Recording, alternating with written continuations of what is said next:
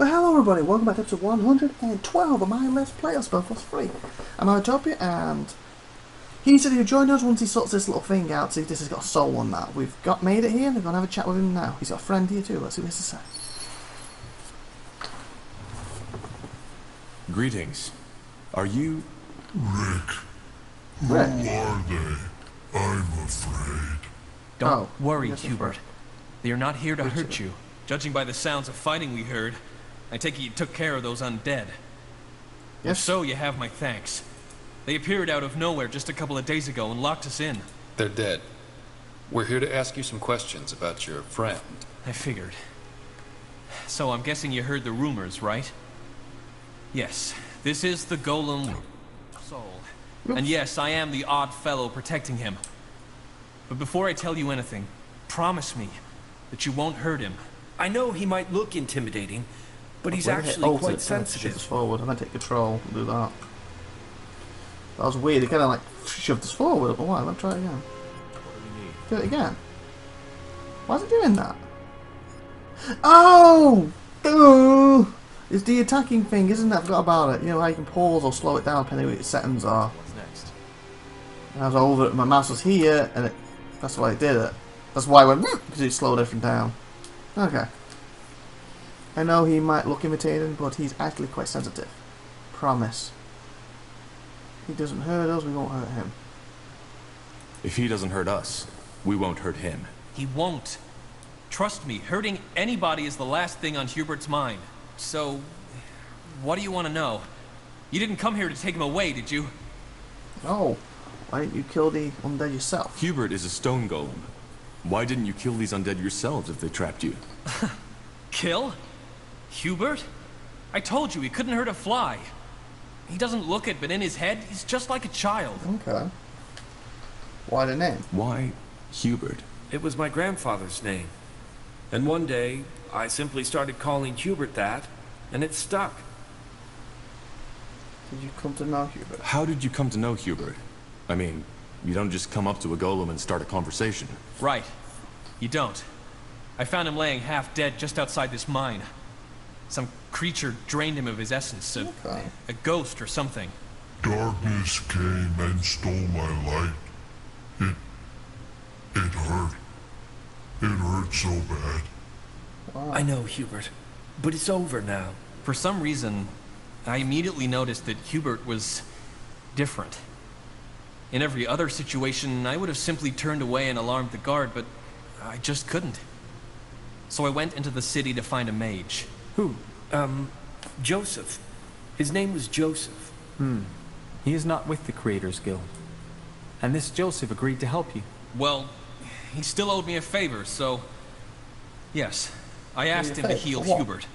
And even though he told me it was dangerous, he eventually did it. When it was done, he told me to get away as soon as possible, as it might wake up again soon. But just like when I had first seen him there, I simply knew that there was something in him. Something that made him more than just a construct. Okay. So I waited. And it turned out I was right. You can figure out the rest. I took him into the mine, as the Everlight guards would have attacked him on sight. And here, we became friends. You're down here to protect us. So you took him into the cave to protect him? Yes. Of course, word eventually got through to the townsfolk. But you're the first to follow up on the rumors. Okay. And before these undead woke up, this place was actually quite peaceful. A bit gloomy, yes, but safe. And that's what matters. How long ago was that? How long ago is it that you found him? Let me think. Almost four moons now. Hmm. How did you become friends? How did you become friends, though? Rick, friendly. Rick, always friendly. Rick, care for me. Okay. Well, maybe friendship isn't the proper word for it. It's more like I care for it. The way a father cares for a child. okay. And yes, I know how funny that sounds considering Hubert's size. Makes you different. Hubert, what makes you different from other golems? When did you realize you can think for yourself? I. I don't know. I always had thoughts. Always had ideas.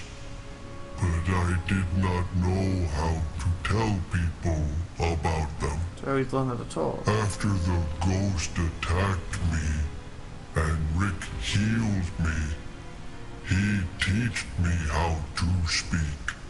Maybe he could Taught. teach other. Yes. Yes, of course. Oh.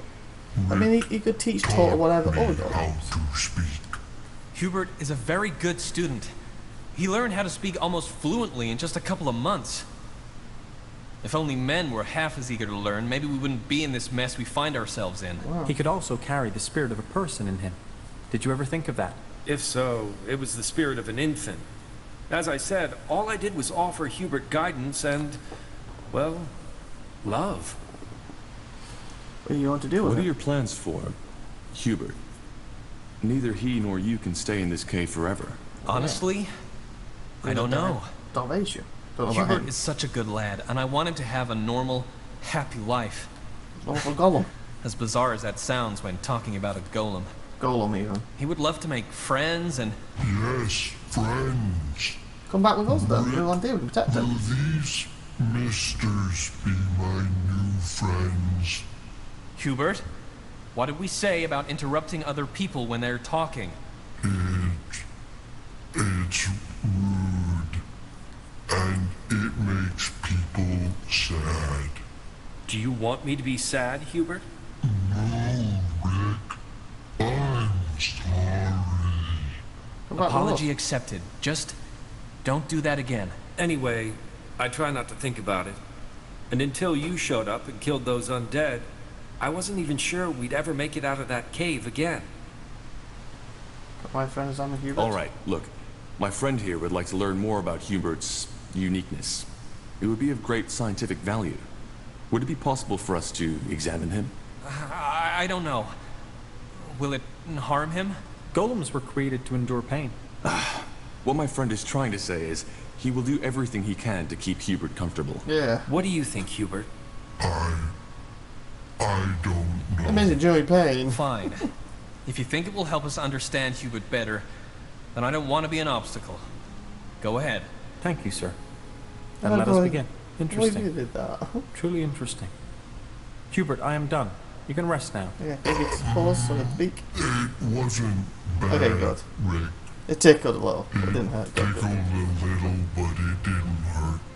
So, what did you find out? Not much. But let me discuss it with my companion first.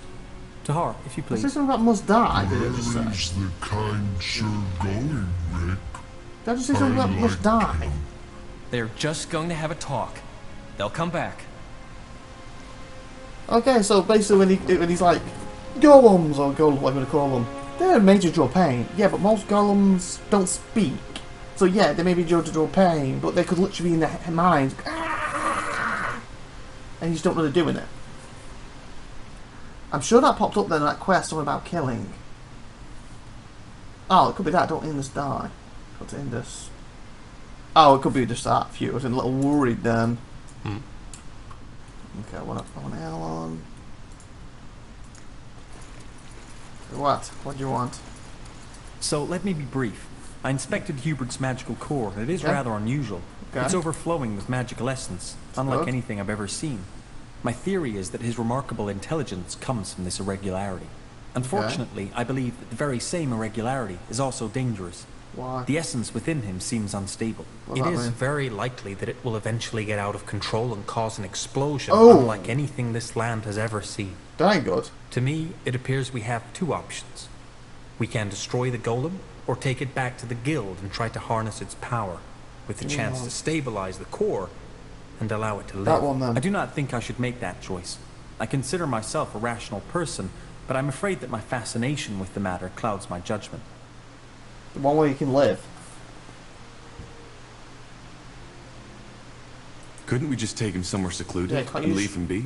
Why I'm afraid that's out of the question. We just don't know what the long-term effect of this instability would be. He could, for example, become feral and use his incredible power to wipe out a city or two. Killing him is the merciful option if his welfare is your primary concern. How would you harness? Yeah, because that's what I'm worried about. Because you said you could take him, harness his power, could make the core stable, and allow him to live. Why do you need to harness it to make him stable? Why can't you make him stable? What do you mean by harness his power? Well, the possibilities are endless. If we can replicate the structure of its core and stabilize it, it has the potential to change the world. We might even be able to recreate it, thus giving us a power source with the chance to recreate life. Obviously, there is no guarantee these experiments will bear fruit. We would also be risking blowing Everlight to smithereens in the process. Wow. If I had to make a guess, I would say that there is a 40% chance that the golem will be stabilized, and we will be able to harness the core. A 40% chance that it will die in perceived agony, You're gonna die anyway. and a 20% chance of triggering the devastating explosion.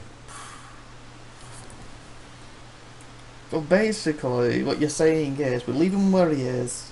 He's gonna blow up. We try and kill him. What's what's what, what's that saying? If we try and kill him, that we don't set it off by mistake anyway. But we keep him here. Forty percent chance. You can harness it and he can live.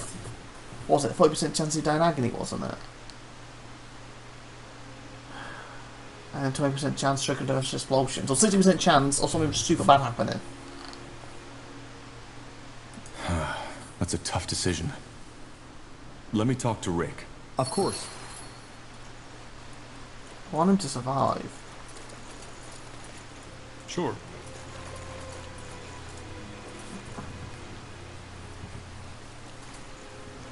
So, what did you and your friend talk about? Okay, I thought I was going to talk, ask him. Okay, I thought I was going to be asked to explain the situation to him, see what his thoughts on it. So take him with us. Um, Well, there's no good way to say this.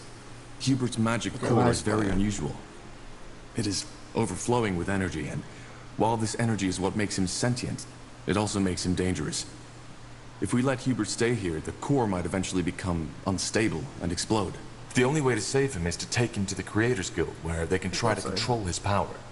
Thing is, it might be a painful experience for Hubert. I'm sorry, but it's the only way. The alternative Okay, would be to kill okay. him. You. You bloody monster! what? No! There's no way I'm letting you do this! He's a person, damn it, not some toy for some mages to tinker with! You'll have to kill me No, I first! didn't want to kill Rick, anyone. you're outnumbered, and I'm offering you and Hubert a chance. Yes. Don't you see it? You can either die here like a fool, or you can make sure Hubert gets through the entire ordeal together with you. Well, I guess you're right, Okay, aren't good. you? Calm down, calm down. I don't have a chance against you all. But let me say this.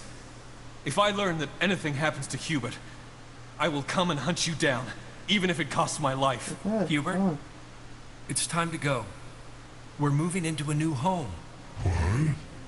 I'm going to see the outside again? Just how you promised. Yes. Just how I promised. Well, I must say that I'm happy you made that decision. I will go back to the guild now and prepare my things for our journey as discussed. I will see you there.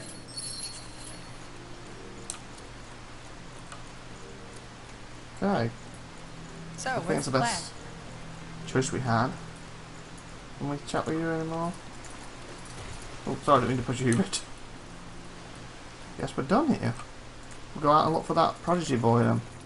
Hopefully, we don't blow this whole place up and, and he doesn't die agonizing death. He actually As gets to you live. want. That's the reason I picked that. So fingers crossed, 40% chance I'll of be doing it. It's better than zero and dying now, isn't it? That way. All right. Uh, head back here.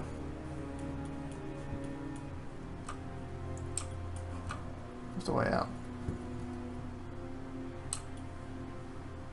There it is, that's the way out. Okay, so hopefully they're heading here now. Yes. Just give the word. Oh, they're not to get here. Yes. Or not. What's Yes. happening? Why are you hurt? Mm-hmm. Guys? Understood. What's going on?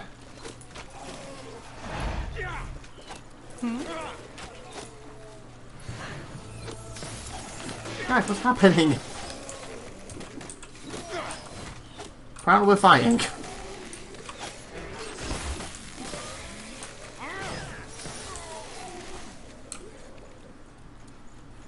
You guys done? Yes. Hello everyone, come on. Ooh, sure. nice. Dude, who left the gold behind? Play that. Cigar young Nam Nyan does that.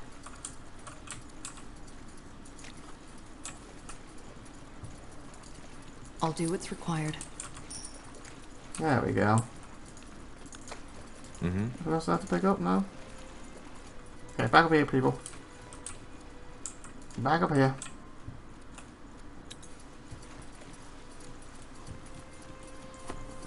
And I think it's time to end this episode too, actually, as we leave. So, next episode, we'll look for the Prodigy and that. Um, so please like and subscribe and that good stuff as we leave this place. And if you haven't already, subscribe and share this video. You got it. Thank you very much, and see you next week. If you want to put any comments, you can. I've been IVATOPIA, you like normal. Bye, everybody!